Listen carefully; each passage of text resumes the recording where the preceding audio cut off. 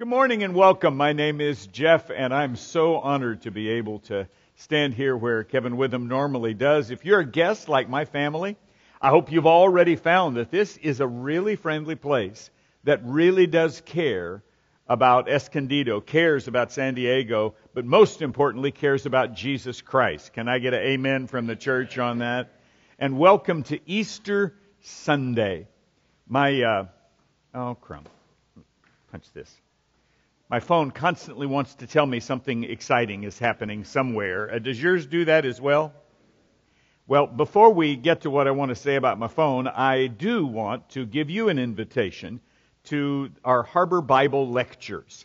They take place at Pepperdine each May, and if you'll go that next slide, I think we've even got a slide with a QR code on it.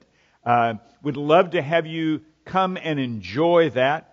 There'll be over 200 lecturers from about 20 different states that'll be speaking. There'll be, oh, who knows, a couple thousand folks from all across the country, and you're invited. We open up the dorms. There's ocean view bedrooms in Malibu. You can get four nights and food for about 350 bucks. So you can't get that on Mission Bay. I'll, I'll tell you that. So let me encourage, invite you, if you don't know how to get there, I'm thinking a couple of folks, I think the Davenports might be able to show you the way to Pepperdine as well as some others. How many have ever been to the university, been to Pepperdine? All right, great. Well, I hope to see you there. If you are a student, I want to invite you with that next slide to Crossways. Every year we take a hundred sophomores and juniors and work through what we call a life map, asking the question not what do you want to be when you grow up, but how has God uniquely gifted and talented you. It's a leadership experience for students in the summer after their sophomore and junior year. Now I'm going to say something I normally can't say. Because of a generous donation that helped us to launch Crossways from the San Diego Christian Foundation, any student from any congregation here in this area gets to go free. So it doesn't even cost you the $250 tuition. So if you're a sophomore and a, or a junior right now and you're interested, get on and get that application in at pepperdine.edu forward slash crossways and just make a note there that you're from San Diego and you get the golden ticket. If you can't go this year, that's available next year and the year thereafter. So I've done my duty in, and it's doing, just a sec, I've got to hit a button here to make my phone. My phone does not want me to miss one piece of big news. Anybody else have this happen to you? And sometimes what my phone thinks is big news is not really big news, right? I mean, my phone is always telling me, oh, there's a flash flood warning. Anybody get one of those over this last weekend? Or there's breaking news on a battle. Or there's been tragically a shooting. Or here's what Taylor Swift had for lunch. I mean, big, big deals. And I had to think as I was thinking about this lesson, if there had been iPhones around on Easter Sunday, they would have all blown up, right? Big news, breaking news. Well-known rabbi is missing from his tomb. Some say that he is walking and alive. Big news that day, only the iPhones could not have put it in big enough print. Because what happened on Easter Sunday so long ago literally changed everyone's lives. It changed the way we keep time. We can't even say 2024 without recognizing that something happened 2024 years ago that was so astounding that the world said, we're just going to mark our time by it.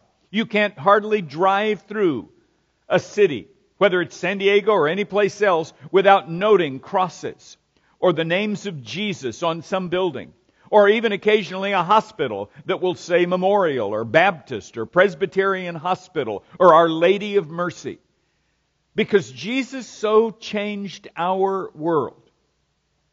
There are countless folks right at this time, or a few hours from now, or a few hours ago, who were meeting in Hawaii, who were meeting in Beijing. And yes, there's a small group that's meeting in Kiev praying for peace. And God bring peace to our world. Amen. There were folks in Buenos Aires. In fact, we've got some students from Pepperdine down there who will be celebrating Easter there. There are folks in London. There are folks in Switzerland. Yes, there are folks in Moscow who are pausing to say, Jesus rose. In fact, just in case the person next to you doesn't know it, because it's really good news, and some of you appear not to have had much good news recently, so just turn to the person next to you and say, He is risen. Go ahead and tell him, He is risen. That puts some smiles on faces out there, if nothing else, for saying, Whoa, man, take a mint. Uh, all right. Let me read a little bit from the book of Luke to get us started, if I can. They found the stone rolled away. Can I get a hallelujah from you on that? That one to two ton stone that was put there not so anybody inside could not get out. You need to understand that wasn't designed to trap a dead person. It was designed to keep nobody from messing with their remains. In fact, the Roman soldiers were so worried about it that the government had them put a little cord on it that had the mark of Rome so that anyone who messed with it, it's kind of like a mailbox, that's a federal problem if you touch that tomb. But that stone, that cord, that marker, the Roman guard unit that was there was gone. But when they entered, can you read this part with me? They did not find the of the Lord, which begins the greatest mystery for some folks. What happened to his body? Was his body stolen? Did some group sneak up and, and do it? Who would have done it? Oh, the disciples did it. That's right. That group of ragtag fishermen and tax collectors snuck up on a marine uh, group and just, you know, over, overcome that platoon, roll that stone out of the way, and then took the body, and then they lied about it. Why? So they could be uh, beaten, whipped, sawed in half, you know, those kind of things. The things that typically motivate someone to tell a lie. Can I get a oh no from anybody here on that? No, I, I don't agree with that uh, answer for the mystery either, but rather that something miraculous happened. And while they were, these are the ladies who went to anoint the body, while they were wondering about this, suddenly, two men. We're going to talk this morning about two men. It's interesting how twos show up in Scripture. Two men in the Old Testament, you couldn't have given a testimony and have it stand up in court unless there were, say it with me. Yes, and unfortunately, ladies, sorry, it would have to be men. Two men in clothes that gleamed like what? Lightning stood beside them. In their fright, of course, the women bowed down with their faces to the ground, but the men said to them, oh, why do you look for the living? I love this line. Among what? Among the dead. He is not here. Say those next three words with joy with me. He has risen. Big, big news. News worth us always pausing to celebrate the hope and the peace. In fact, there are folks who, uh, well, a friend of mine rather snarkily used to say, "Oh, we've got our C and E Christians with us today." I said, What's a C and E Christian? He said, They're the Christians that come on Christmas and Easter. C and E. That's when they show up. Now, if you haven't been here in a while, no shade thrown on you. We are glad you're here. Can I get an oh yeah from the church on that? We're thankful you're here. And by the way, this joyous celebration doesn't just take place on Easter. This church, this church has Easter every week. They celebrate the resurrection of Jesus every week. They lift up hands and say, Praise God, He is risen every week, and I do hope you'll come back. Kevin Witham is a gifted, gifted pastor and preacher. Can I get a oh yeah from y'all on that? Absolutely. And I'm so thankful every time I get a chance to hear Kevin. It's some of the best sleep. No, no. It is some of the best encouragement. I remember being a teenager and going to hear Kevin speak. So I am couldn't resist, bro. I am so honored to be here and to say, yes, this message that has changed everything continues and continues. You say, well, we don't really know when Jesus was born. Christmas, you know, some say it's September. You're right. Somebody put a finger on the map and picked that date, but not Easter. Easter both is connected to the Passover in the Jewish world, but also we look up and can see in Scripture when it happened. It was this time of year. And it was on a Sunday morning when the word of the disciples was not he is risen. Their words were, it is over. It's done. All our hopes, all our dreams. We thought Jesus was going to be the one that would drive the Romans out of here. Say it with me. It is over. Maybe some of you fans have been watching a bit of March Madness and had to say that over and over again. Well, it's over for them. Well, it's over for them. Imagine if you'd staked years of your life on a moment that you thought was going to change everything and then it's over. We watched him die. We've seen him buried. And then the good news. The shock, the celebration. And some would say, and that's the big thing that happened on Easter. Well, I'll go with you, that's the big thing. But my phone probably would not have blown up about the small thing that happened on Easter. Because on that same day that they find Jesus empty, Luke goes right on to say, now that same, everybody say same day. So we're still on Easter. Two of them were going to a village called Emmaus. Would you bow with me? Father, as we open and begin to walk into your word, I ask you to give us vision, memory, and hope. For, Father, there are moments that all of us, in looking at what's happening in culture in our world, may feel a bit like those two travelers on the road to Emmaus. Like them, Father, may we encounter someone wonderful who can lift our eyes up to the big picture, I pray. And in Jesus' name, we all say, Amen. No, I don't think Luke wants us to stop at the resurrection.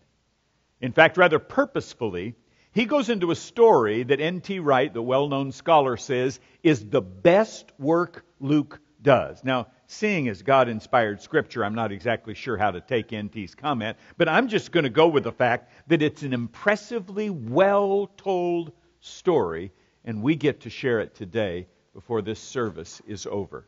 Two men on a road and I'm going to dare to suggest this was not a trip they had planned.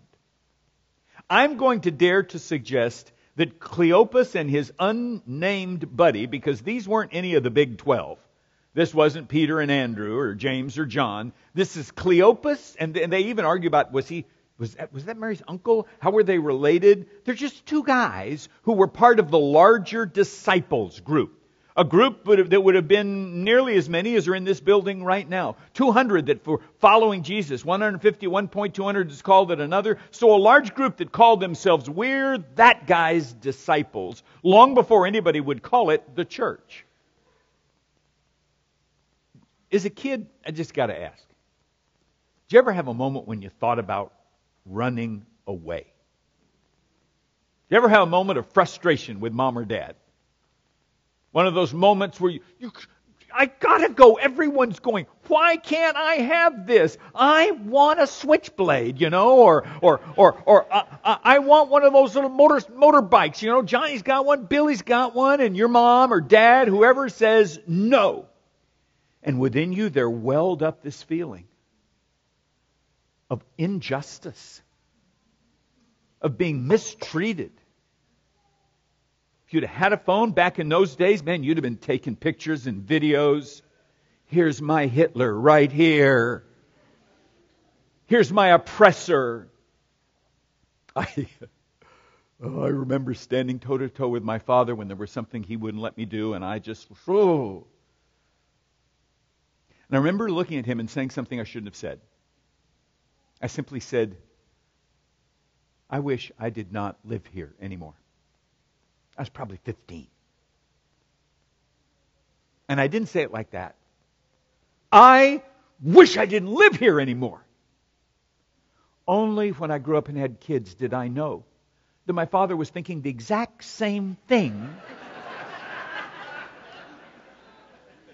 I, uh, all right, I will use my phone. I, I, I stumbled across these. Uh, notes from kids who have run away.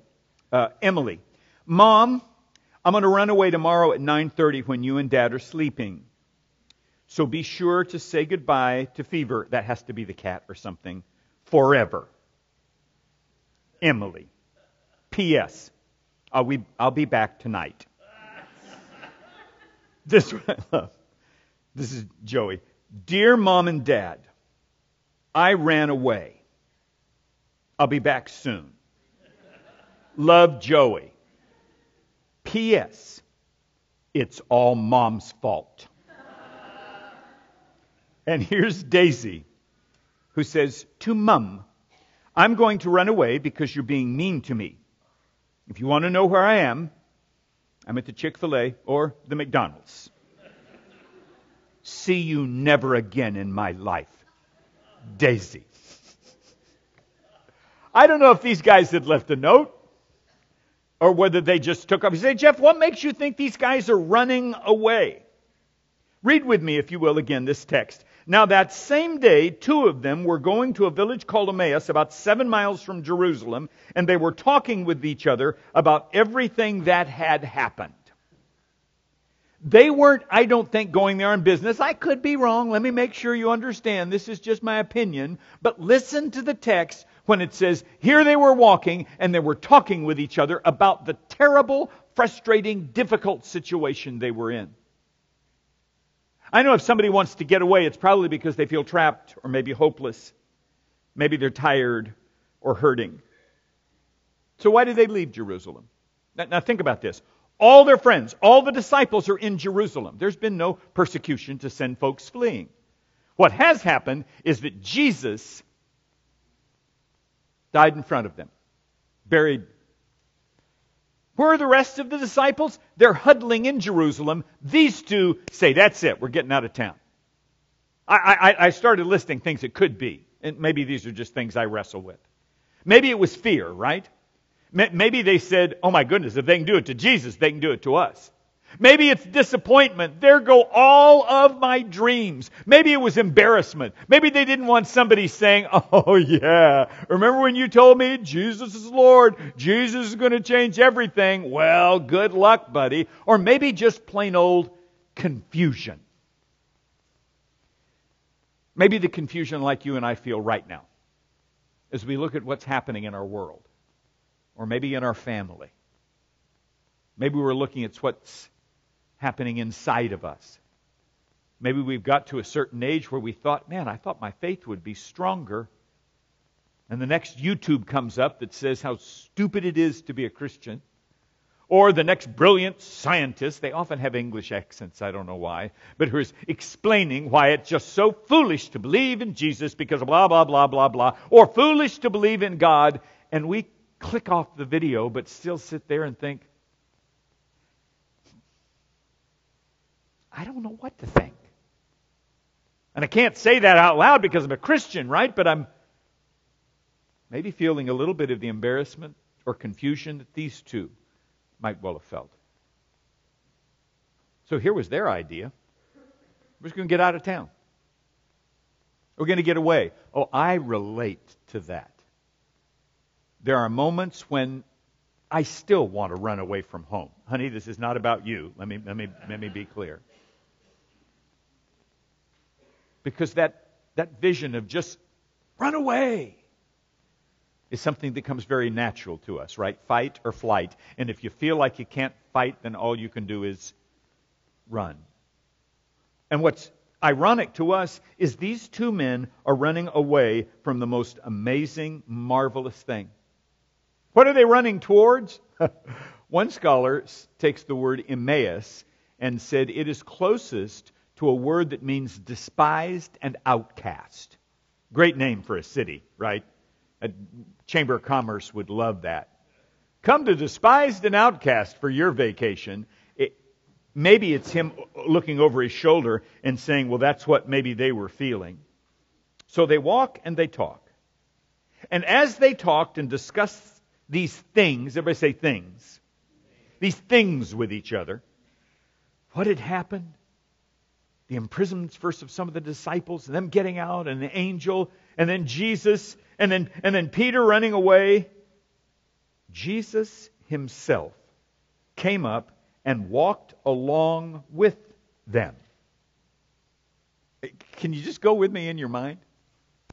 You're walking on this road, and a stranger shows up. Maybe you didn't hear him coming, shows up behind you. Walks up, and maybe he says, May I walk with you? Or maybe it's just that kind of begrudging, hey there. And the three of you are now a walking group.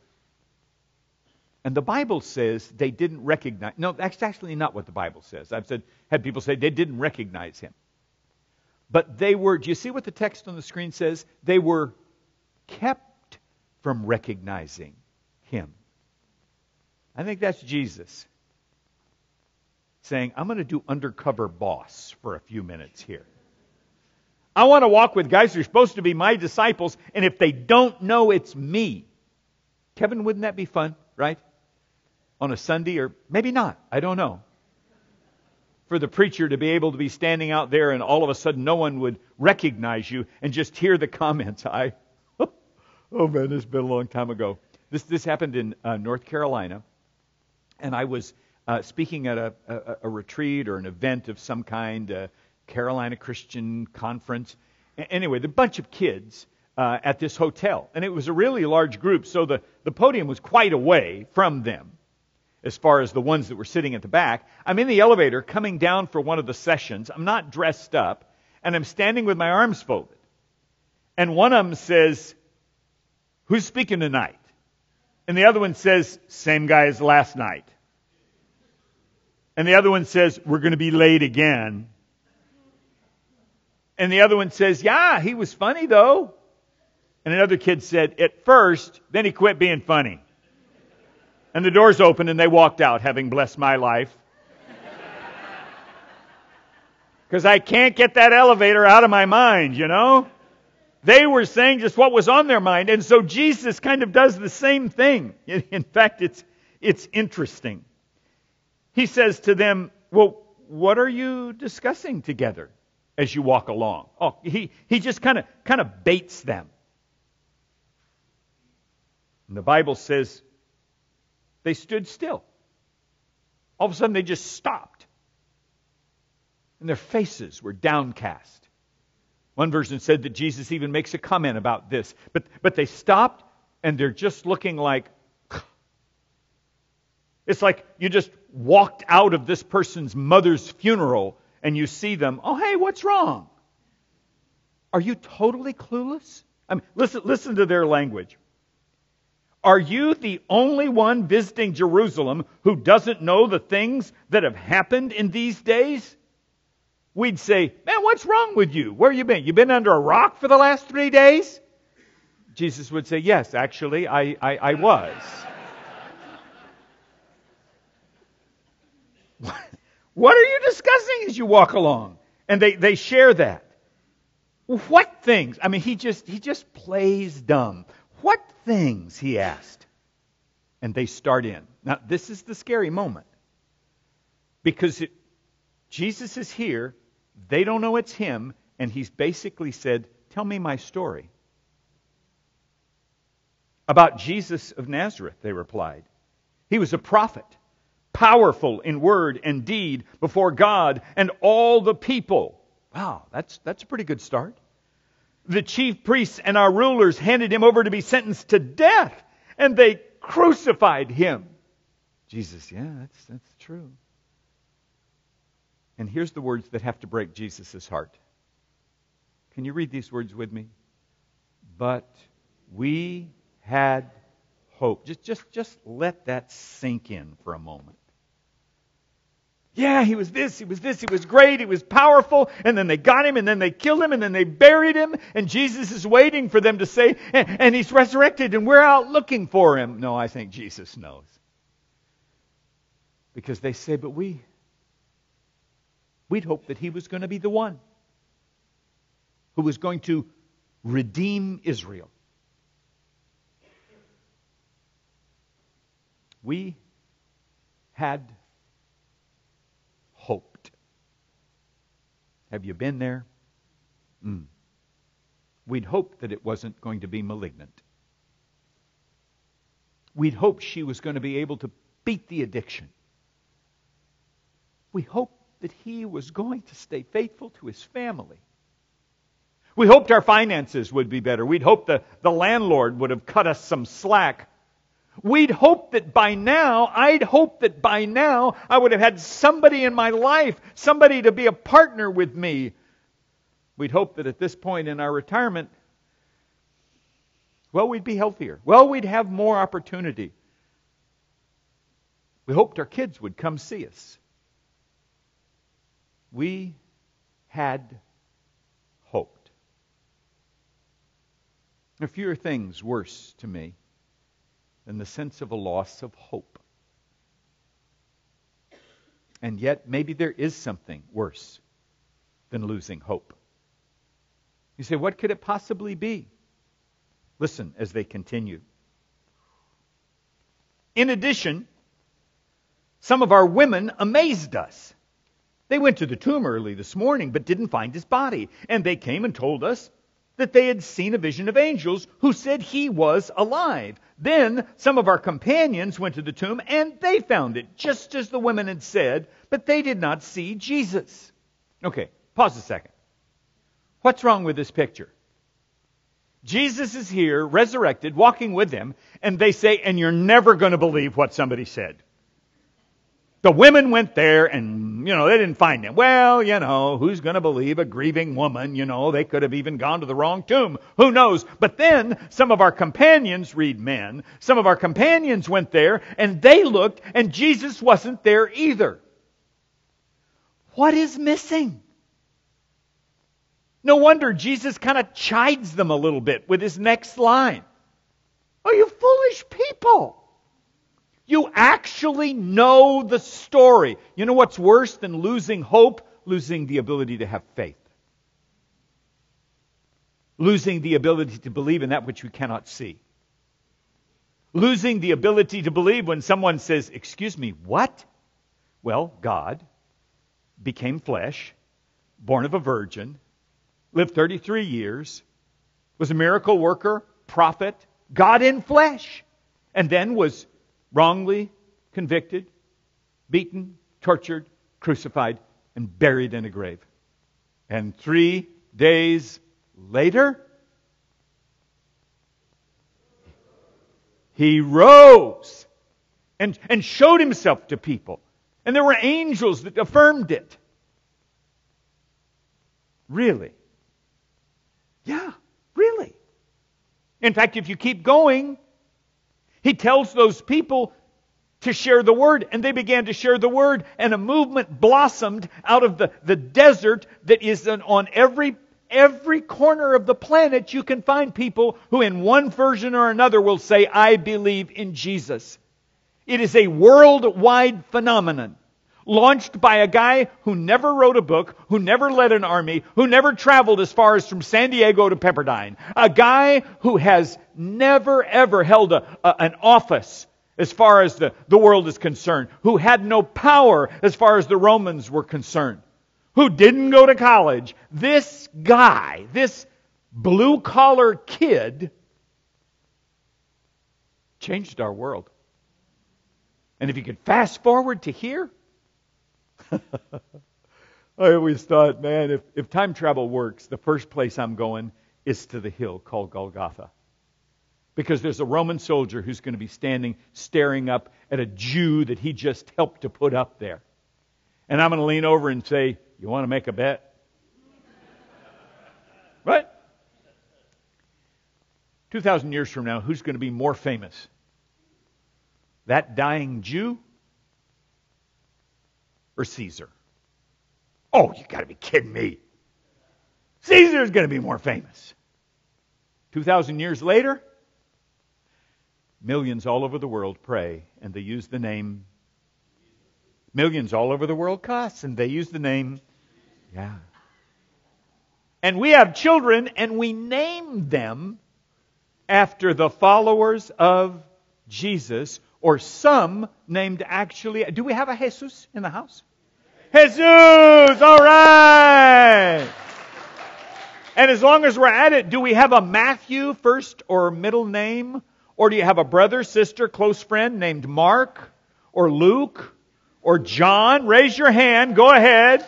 Yeah, you've hired Luke, John. How about a Mary? Do we have any Marys or extended family Marys? 2,000 years later, we name our children Peter, Paul, Mary, John, and we name our dogs Caesar.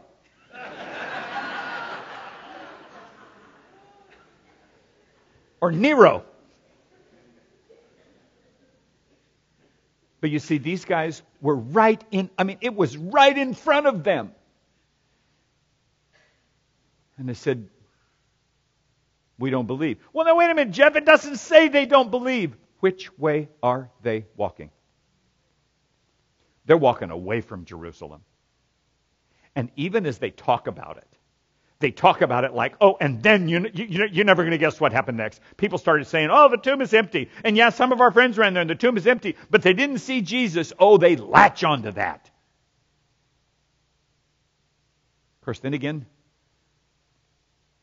I haven't seen Jesus either, despite what we sing at camp, right? Have you seen Jesus, my Lord?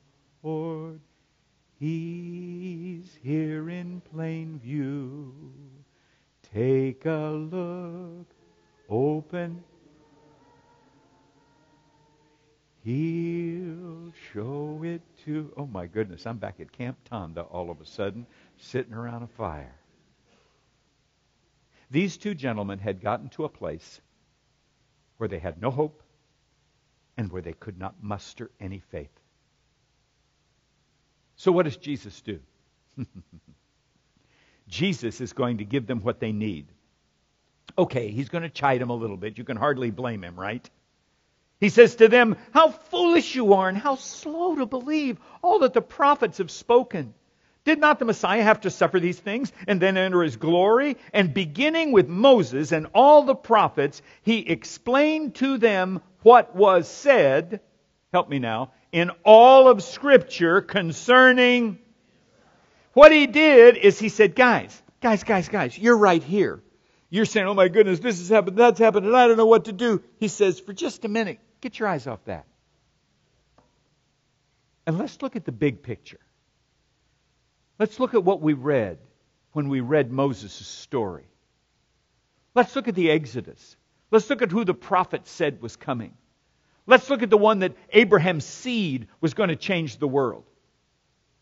They backed that picture up as Jesus walked with them and gave him the best Old Testament course anybody could have ever had. Can I get a, oh yeah?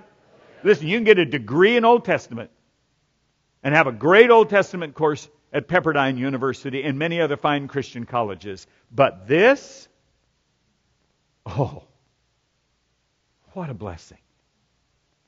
In fact, by the time they get to, to the inn they're staying at, they're like, whoa, because it seems he's going to walk on. Whoa, whoa, wait a minute, wait a minute. They beg him. You ever been in one of those conversations like on a plane or in a car where you're having such a great conversation with somebody you don't want to get there?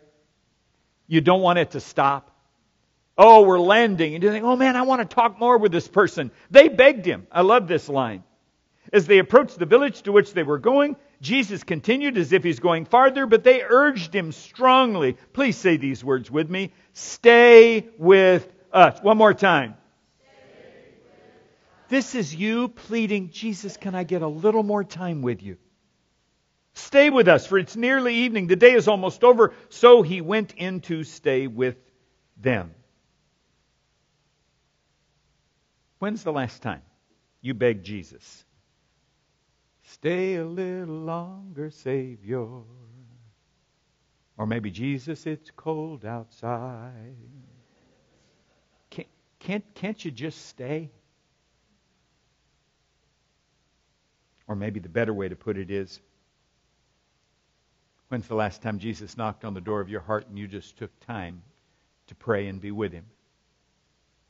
When's the last time you opened up God's Word and weren't trying to get my 10 minutes of reading in, but found yourself reading the words of Jesus and you just didn't want to leave? So he does. And if I can just pause and do 30 seconds on that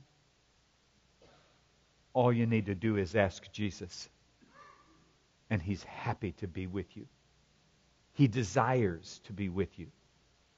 Like God coming and looking for Adam and Eve in Genesis, Jesus comes to look for these two men. It's like the whole script is flipped. Because Jesus wants to be with you in your darkness, in your discomfort, in your lack of hope, in your struggling faith. But I wonder if this story is meant in part to tell us. But Jesus is not going to be your grandmother. Get out of that bed. We're going to church. Come on, let's go. You remember that, right? It was told of the mom who was banging on her son's door, We are going to be late. And she opened the bedroom window, and he's got one foot. Her son has one foot out the, out the window. What are you doing? I'm running away. I don't want to go to church anymore. Get yourself back in here. You're not, I can't go to church. Why can't you go to church? Nobody at that church likes me. Nobody does. Nobody talks to me hardly ever after church is over. I got to go find people to talk to. She said, Get yourself in here. She's, give me one good reason why. Because you're the preacher. Get in here and we're going. Jesus comes in, and the Bible says that he sits down with them. And when he was at the table, he took the bread. Oh, what a moment. He gave thanks. Does this sound familiar? And he what? Broke it. You just watched the first broken bread since his burial. And he began to give it to them. In the moment of Jesus passing what we might call the first communion, the Bible says their eyes were opened. They recognized him. And boom, he disappears. Mic drop. You've been told. And they turned to each other and like, whoa, what a, how the. And then one of them says, Were not our hearts, say the word, burning within us while he talked with us on the road and opened the scriptures to us? I don't know if it's true, but I wonder if that's not some of the thought of that old hymn my grandma used to sing. I come to the garden alone while the dew is still on the roses and the here falling the Son of God, listen to it, discloses and walks with me and he. I don't ever want you to hear her sing that old hymn again without thinking of these fellows walking on that road with Jesus. And they say, Weren't our hearts burnt? Didn't we just feel it? Didn't we just know? when he was on the road and opened the scriptures to us. This morning, it is my prayer that we can all get on the road. Let me just give you, as we finish, two, two truths about the road. Number one, it's not as bad as you think right now. You say, Preacher, you don't have any idea what I'm going through. You don't have any idea what our doctor, or you don't have any idea what my husband or wife. It is not as bad as you think. These two thought, it's over. It's done. And the reason it's not as bad as you think, because Jesus is not as far away as you think. He's closer than you can even imagine. Close enough to where all you need to do is say, Savior. And He wraps you in His holy arms. And He comforts us. Whether at a graveside or a bedside or the place where we buried a dream. Whether in a moment of torn relationships or emotions that are tearing us apart. The scripture again and again says just call on the name of the Lord. What do you need? faith. What, what these men needed. Scripture says without faith, it's impossible to please God. Can I get it? Oh, yeah? Scripture also says if you believe and have faith, nothing is impossible for you. I, I love the juxtaposition of those impossible terms. It all comes down to this What do you believe about the Jesus of Easter? And if you're the runaway, if you've been running away from the resurrection, I love the fact that this story isn't the prodigal son, where the father patiently waits, and if the boy comes back, then he's going to, and that's beautiful. But in this story, it is the Jesus who comes and finds you and me. Oh, what it would have been like. Today, that's yours if you want it. You don't need to drive home alone. You don't need to head out of here by yourself. Because Jesus wants to be with you. This hit me. Jesus is just resurrected and he can go anywhere and do anything. Right?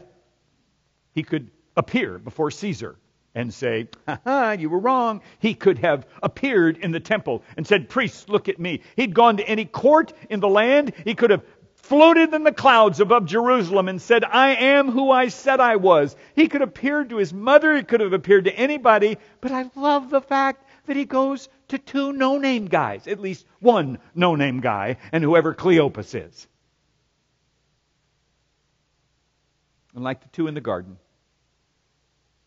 God comes to walk with them. But unlike the mess where they say, oh, and run and hide, these two say, oh, Didn't our hearts burn? I wish I had the words to close by telling you how much Jesus loves you. Right now, right here, right where you are. I wish I had the words to say, This is how God cares for you. So, whether the resurrection story is, well, just too tough to explain, too embarrassing to embrace, too scary to accept, I believe that history says it is too powerful to ignore. So let's finish my vain attempt at going back to that conversation. Imagine we're walking on the road with Jesus. Would you, gentlemen? And he is about to do some uh, explaining. I want you to imagine hearing the voice of Jesus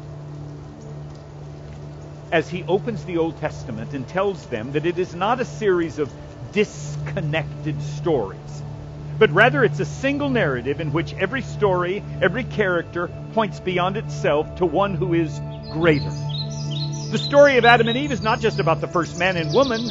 There is a true and better Adam who passed the test in the garden, and his obedience is ascribed to us.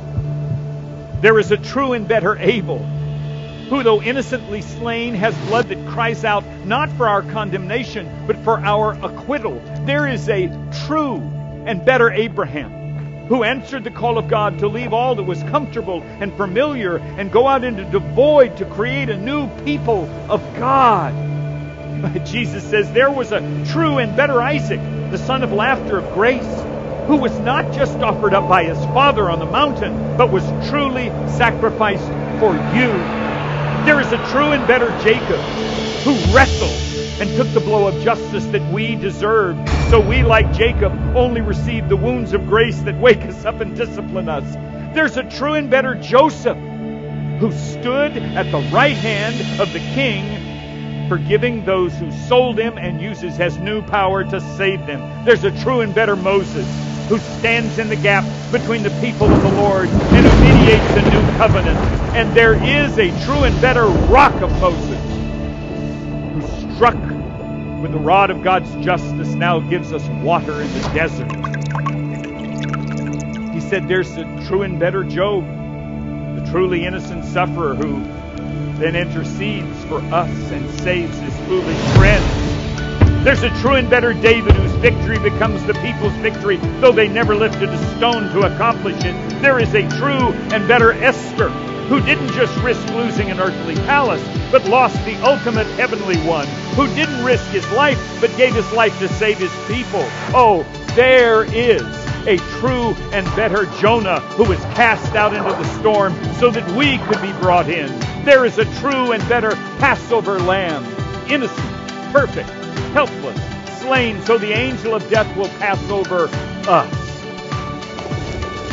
Maybe he said here he's the true temple, the true prophet, the true priest, the true king, the true sacrifice, the true lamb, the true light, and the true bread. And now they know, and we know. The Bible's not a series of disconnected stories, but a single narrative that points to one name. Say it with me Jesus. Bow your head. Father, thank you today. Thank you for the beauty of the Old Testament. And thank you for a peek behind the veil when Jesus said, Let me tell you, it's about me. But not the me on the cross, not the me whipped or mocked.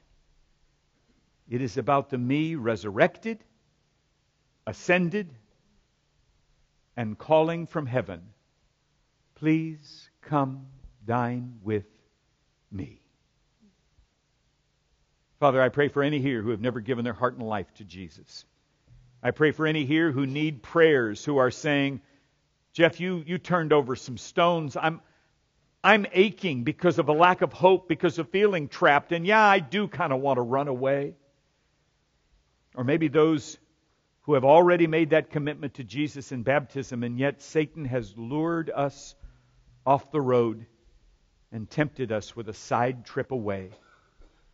Father, I pray that they would find one of the pastors or one of the elders here, the minister, they would say, Can you pray with me today? And God, for anyone here who's never been baptized into Jesus, I pray that today they mark Easter Sunday 2024 with a celebration by saying, I, I want to take a step and give my life to Him.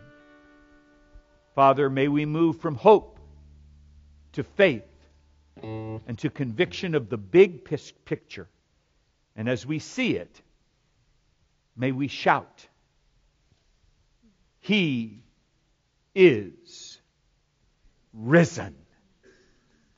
And in the name of the conquering King, of the Lord who loves us, of the Jesus who died and rose and has prepared heaven for us, all that agree say, Amen. Amen. Let's stand and say it together. He is risen. One more time. Amen.